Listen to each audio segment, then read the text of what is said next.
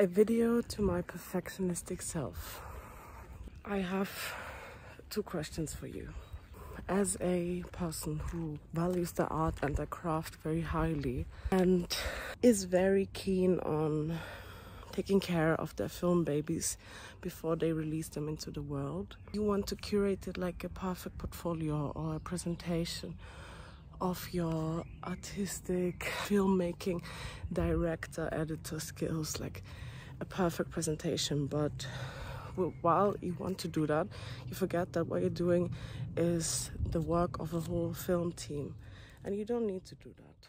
Because my first question was why do you why do you grip and I think I grip because my films are like my babies. They're their own little entities. I only re realized that recently, which also means that I gotta let them go. Not when they're ready, because I never feel like they're ready. I have to be the bird parent who pushes their films, their babies out of the nest and say, go fly. And I cannot control how the world reacts to them, or what they encounter, what is done with them, how they're exposed, how they're minimized. I cannot control it but I know I grip out of fear. Now my question is to you, why can you let go?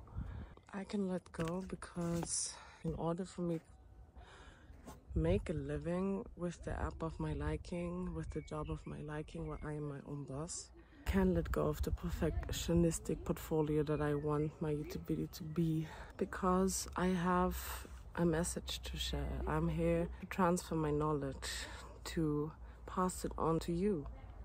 I can let go because there's no way to reassure you of absolute safety and the control you think you might have through all the editing and the shaping of your film babies that you do. In the end, so they can go out and be out there in the world to do their job and fulfill their function, they have to be published.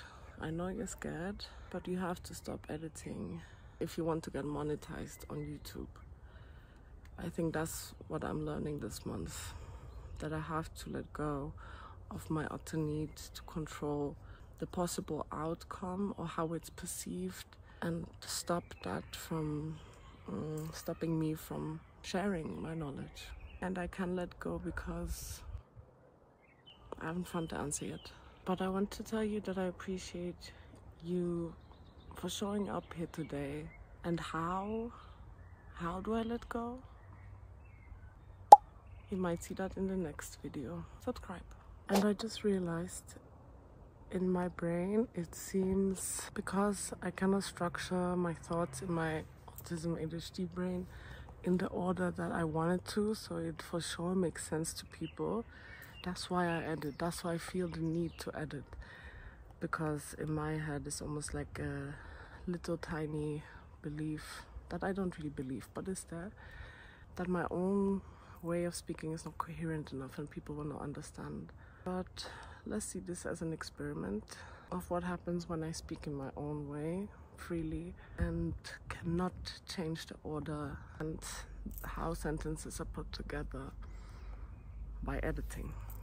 I realized editing is what's stopping me, which is ironic because I thought that's what you need to be good at to be an amazing YouTuber. And I'm brilliant at it now but that's actually what's stopping me. And don't get me wrong, I honor your perfectionism, I cherish it.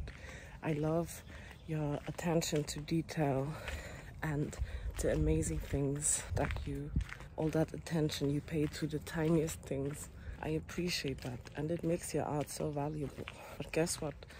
Not everything that you post online and also not what you post here on your YouTube channel on social media has to be some kind of representation or artist portfolio.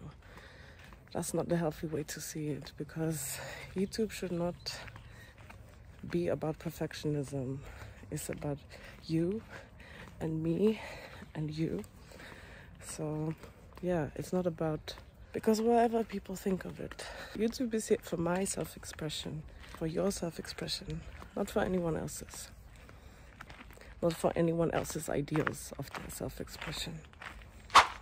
Take care of yourself.